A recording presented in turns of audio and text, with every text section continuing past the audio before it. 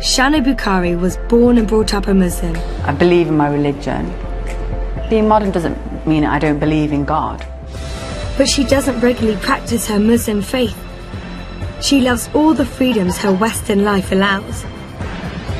In fact, she's a model. In total contrast, she'll be meeting converts who try to follow Islamic guidelines in everything they do. I want to know why women are converting to Islam. So I'm going to go and meet five converts and try and understanding why they've converted to a new religion. Next, Shanna's travelling up to Scotland. She wants to meet a convert who's been practicing Islam for a while. Alana converted over two years ago. She's 20 and lives in Glasgow. She's a media student, but what's most important in her life is her faith, Islam.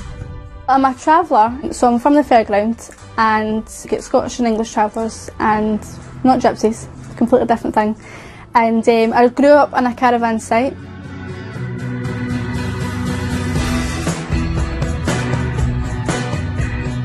This is my home, and that's my wee caravan, wee cara hut. And I live right across my mum and dad.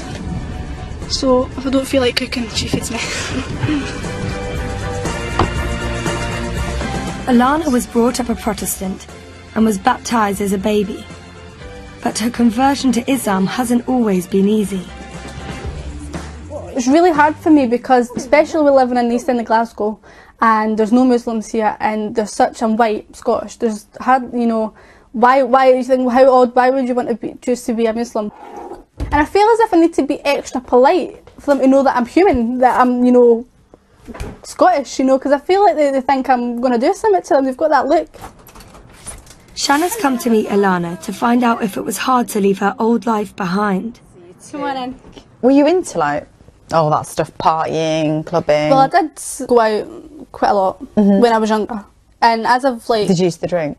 ah yeah, hmm used to drink and go out, and then I would go out, not drink, but still go out to the clubs, and then now it's not going out to the clubs and not drinking at all. It's more been a, a change for my friends, to be honest, adapting to find why is she not What coming were out. they like?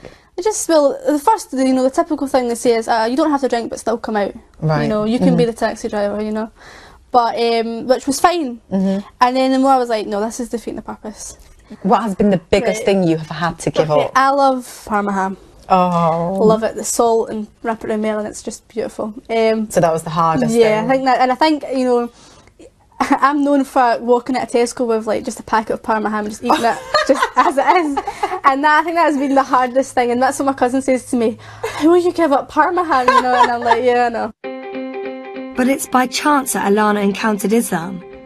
When she first left college two and a half years ago, she set out for Lanzarote, hoping to become a club rep.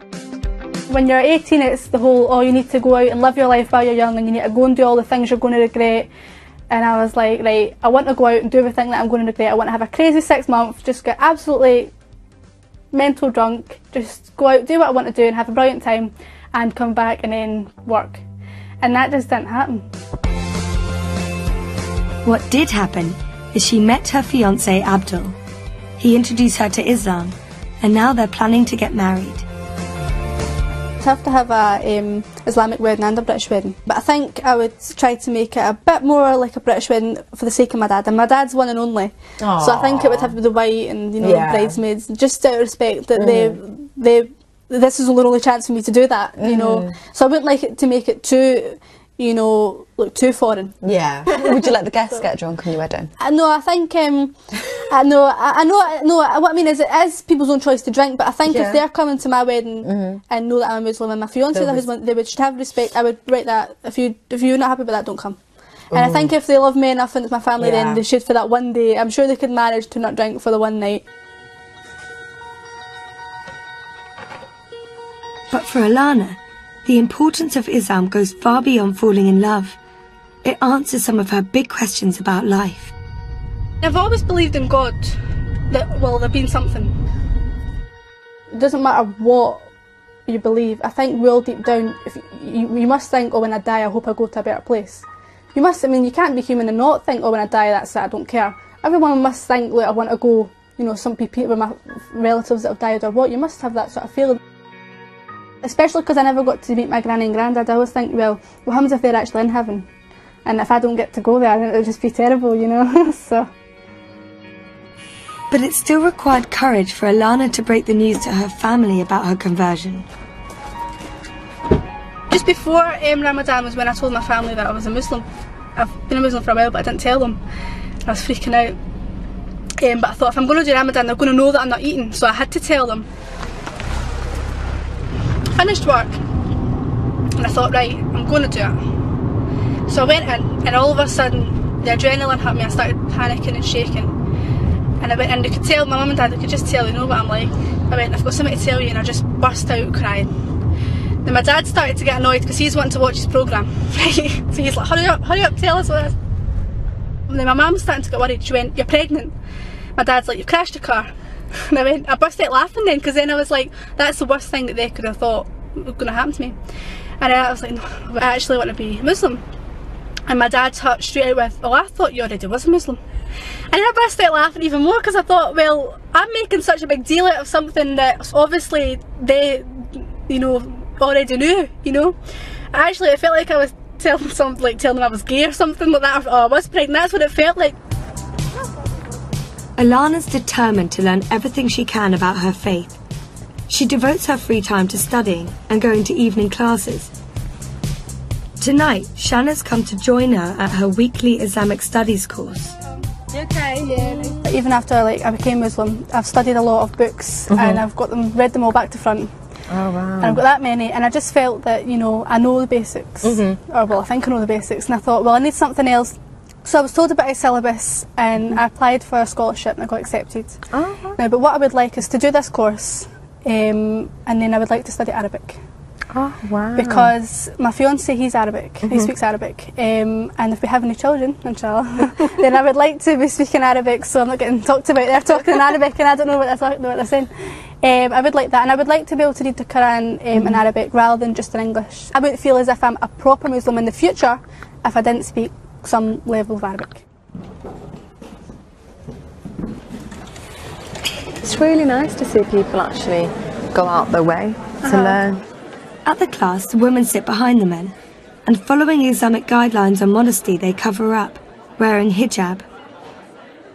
But the lecture's been held up, and Shanna soon finds out why.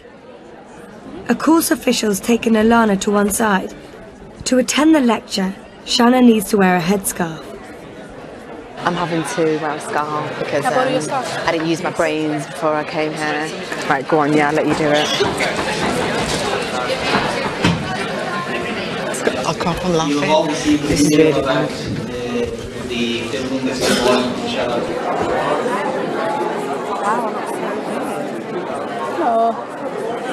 I feel so self-conscious about it.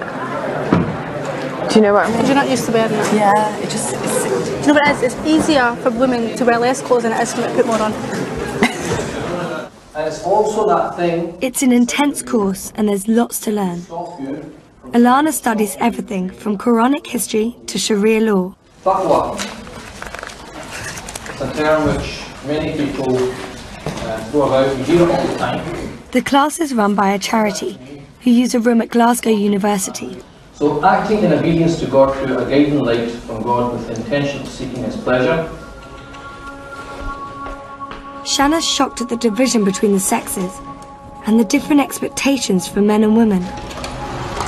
automatically when you go into a lecture hall, even though it's Islamic, I didn't think you need these things. You need to be covered, and I didn't even think about men. I didn't even think about the division of guys and women and where they're going to be sat.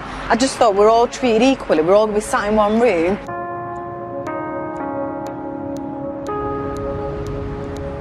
Having made a blunder last night, Alana's asked Shanna over to talk about how Muslim women ought to dress. Like many converts, Alana's interpretation of the dress code is strict, but not all Muslim girls are the same, particularly Shanna. Under Islam, haram means forbidden and halal means allowed. Oh, I've actually halal, hal halalified my wardrobe. How do you halalify your robe? Because, like, Halalify? halalified. And this is really nice. You'd probably like this. this is something that, like, I would Oh, wear. that's pretty. I came out with tights. Mm-hmm. But I mean, if I've got a top on and I've got like mm-hmm. this skirt underneath, I can still wear it. Yeah. Do you know what I mean? So I've halalified. So that's halalified. Halalified, yeah. that's my term that I've created. Just that. then my non-halal stuff, mm-hmm. Which would be my non-halal stuff. You've got this division. Yeah, I have. I've separated all. So this would cover me, but it doesn't actually cover my bum. So I would know if I was wearing that. Hmm? No, oh my god, so that. So I would know that if I was wearing that, I'd have to wear a baggier skirt. Ah. You know? That's But, still baggy. Yeah, but it doesn't cover my bum. Fair enough. So if I halalified done. So I'm halalified right now, aren't I? Oh, your bum's covered. Yeah. but you're, you've Oh, never, I God. won't even go there. I won't even go there. Okay, I'm half halal. You're half halalified. Yeah. I wore these to my cousin's wedding. Oh wow. Yeah, so I've kept all my good shoes because I just love them. And I think you'd like these ones.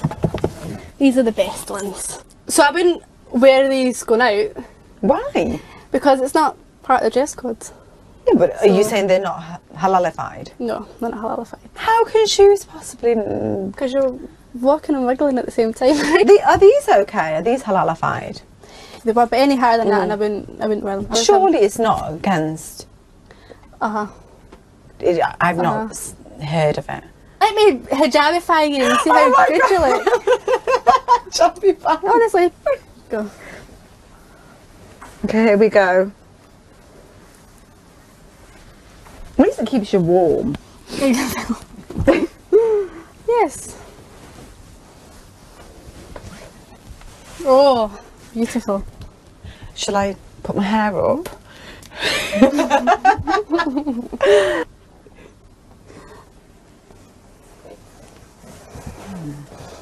How do I You look look? beautiful. Are you serious? Mm-hmm. Take them unhalal boots off. it's the most difficult thing to go out and be covered. You look beautiful though. It's the first time Shanna's come face to face with how strict Islam can be when it comes to rules on female dress. I look Muslim. Well, I don't even know what I feel. Mm-hmm. Transformed. Mm-hmm. you're covered. Yeah, it's. It's not that I was naked and not covered before. No, do you know know what I that, mean? Mm-hmm. It's just um, got something baggy on me, Mm-hmm. and then I've, I've got you can't see my hair, and um, I feel less pretty. Does that sound really bad? Well, the, the- the whole purpose of wearing hijab is so that you're not going out and drawing attention to yourself. So in a way, it's working. I don't. I don't. I'm not ready for it. No. Shanna didn't expect to be criticised for the way she dresses. I don't mean to sound rude to the people who agree with Alana, but I totally disagree with that. That you can't wear high heels. And my boots were not halalified for her. I think she was looking at me thinking, I'm. She was seeing it as I'm born into this reli- as a Muslim, so I think she automatically thought, well, you should be practicing and be doing what I'm doing if you're not already. And I've only been doing this for two years, and I think she was comparing and contrasting us quite a lot. I felt judged by her. I'm happy the way I am, um, and it doesn't it doesn't mean that I'm not a Muslim because I'm not doing it. And just because I'm modern, that's got nothing to do with my religion. I will be I will be dying. I was born as a modern um, British Muslim, and I will die as a modern British Muslim. There's nothing wrong with it.